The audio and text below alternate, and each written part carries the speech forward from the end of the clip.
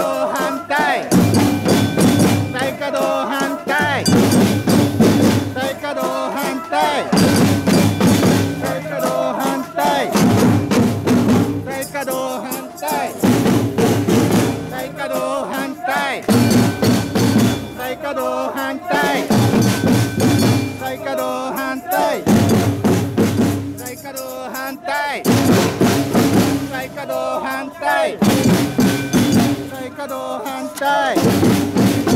再稼働反対。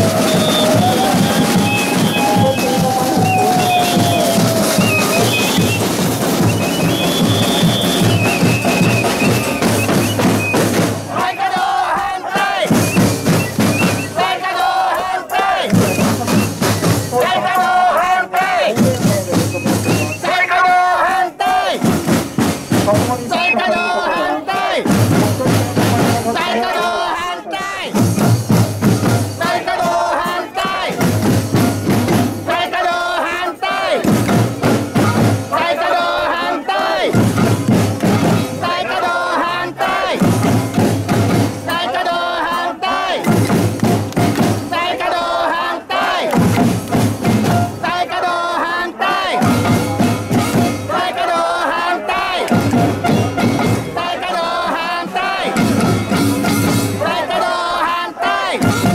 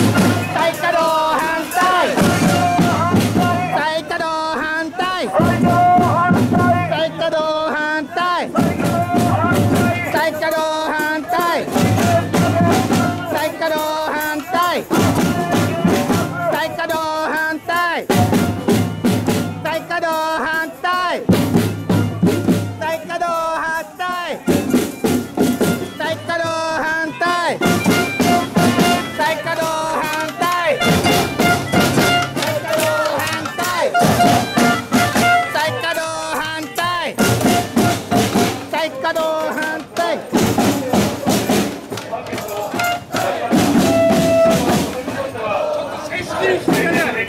今、裁判官の人が話してくれるから、ちょっと黙って。30何年ぶりに電話をして聞きましたら自分がやったのは大したことはないと本当に多くの市民がサイレントマジョリティの支持があったから判決をかけたんだと。そういったのがとても印象的でで彼は本当にこのような裁判をですね